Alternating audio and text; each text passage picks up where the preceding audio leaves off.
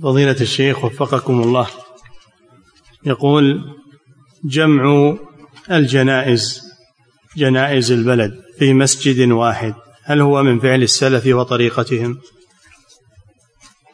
لا هذا لما أن الناس صار عندهم كسل ولا يتولون جنازتهم ولا يغسلونها صاروا يروحون بها للمغاسل والمغاسل مخصصة في بعض المساجد فهذا من باب الكسل.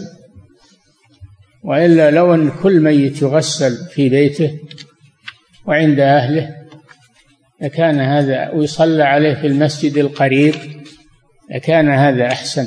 يصلون عليه جيرانه وأهل المسجد الذي كان يصلي فيه هذا أحسن. أما جمعها الجنائز في مسجد واحد هذا فيه حرج على الناس وحصل بسببه إخلال بالأمن وسرقات وحصل زحام وحصل مضار من هذا الزحام وهذا الاجتماع في مساجد خاصة. نعم.